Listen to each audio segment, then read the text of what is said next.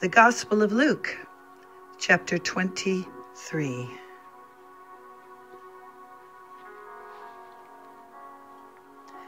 Then the entire council took Jesus to Pilate, the Roman governor.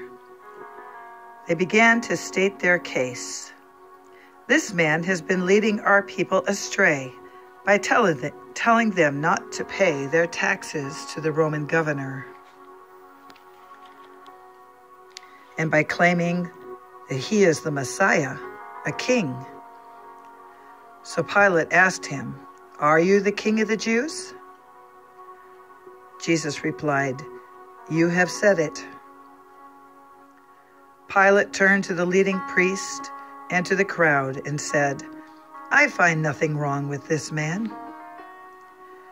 Then they became insistent but he is causing riots by his teaching wherever he goes, all over Judea from Galilee to Jerusalem. Oh, is he a Galilean? Pilate asked.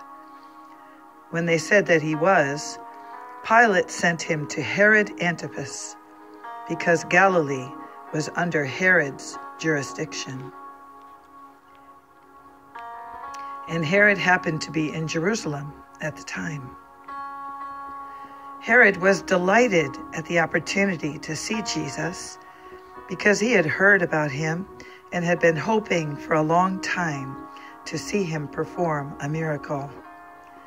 He asked Jesus question after question, but Jesus refused to answer. Meanwhile, the leading priest and the teachers of religious law stood there shouting their accusations. Then Herod and his soldiers began mocking and ridiculing Jesus. Finally, they put a royal robe on him and sent him back to Pilate. Herod and Pilate, who had been enemies before, became friends that day. Then Pilate called together the leading priest and the other religious leaders along with the people, and he announced his verdict. You brought this man to me, accusing him of leading a revolt. I have examined him thoroughly on this point in your presence and find him innocent.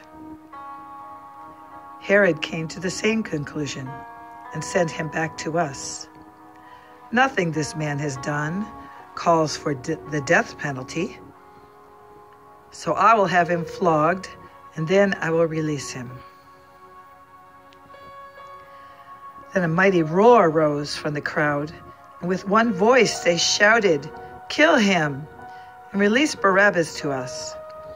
Barabbas was in prison for taking part in an insurrection in Jerusalem against the government and for murder. Pilate argued with them because he wanted to release Jesus. But they kept shouting, Crucify him! Crucify him! For the third time, he demanded, Why? What crime has he committed? I have found no reason to sent- sentence him to death. So I will have him flogged, and then I will release him.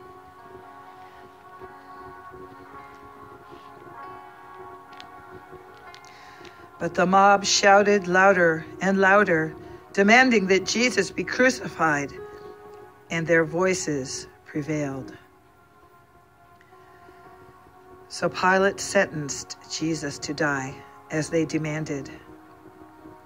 As they had requested, he released Barabbas, the man in prison for insurrection and murder.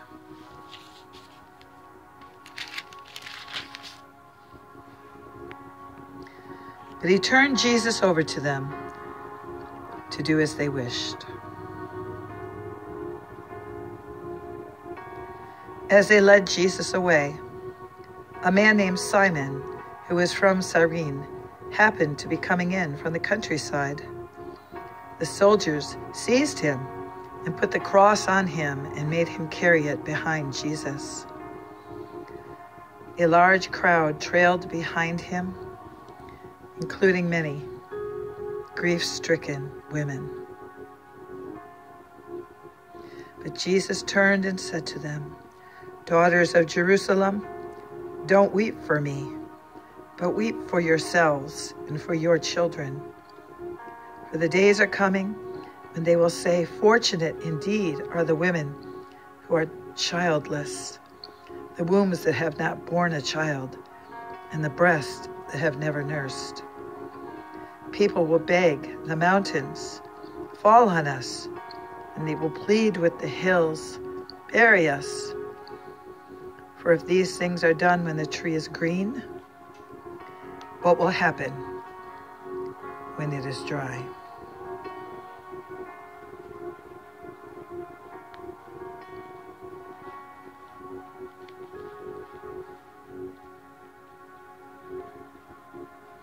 Two others, both criminals, were led out to be executed with him. When they came to a place called the skull, they nailed him to the cross.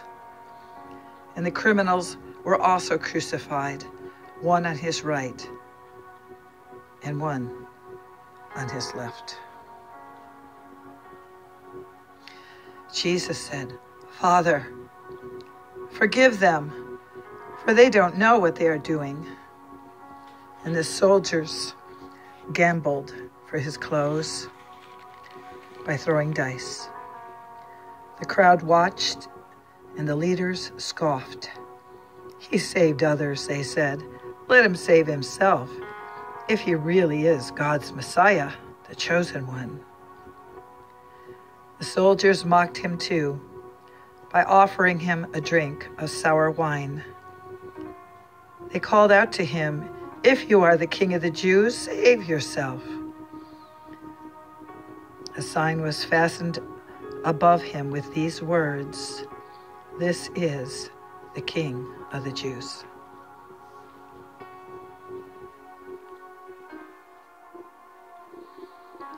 One of the criminals hanging beside him scoffed, So you're the Messiah, are you? Prove it by saving yourself and us too while you're at it. But the other criminal protested, don't you fear God?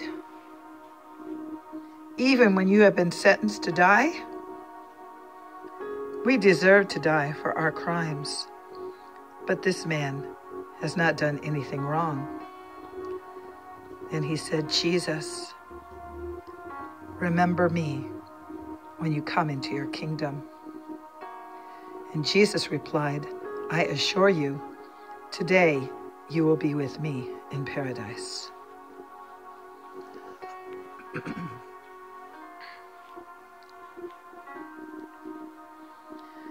By this time it was about noon, and darkness fell across the whole land until three o'clock.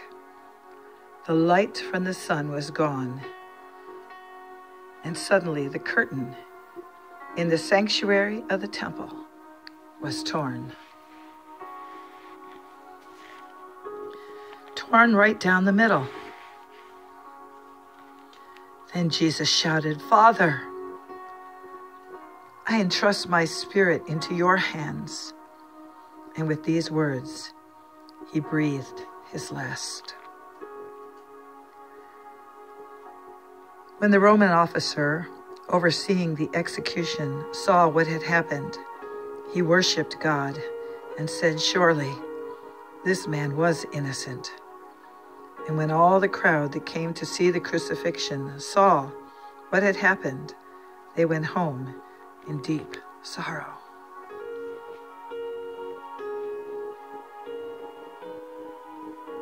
But Jesus' friends, including the women who had followed him from Galilee, stood at a distance watching.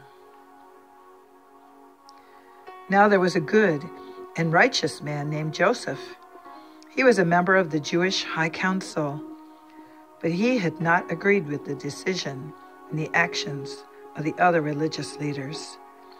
He was from the town of Arimathea in Judea, and he was waiting for the kingdom of God to come. He went to Pilate and asked for Jesus' body. Then he took the body down from the cross And he wrapped it in a long sheet of linen cloth and laid it in a new tomb that had been carved out of rock. This was done late on Friday afternoon, the day of preparation, as the Sabbath was about to begin. As his body was taken away, the women from Galilee followed and saw the tomb where his body was placed.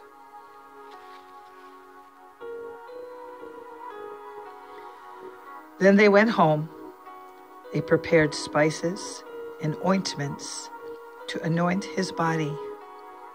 But by the time they were finished, the Sabbath had begun, so they rested as required by the law.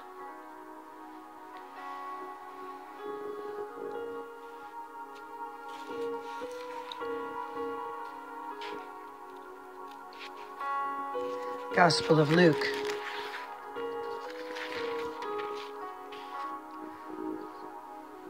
Chapter 23.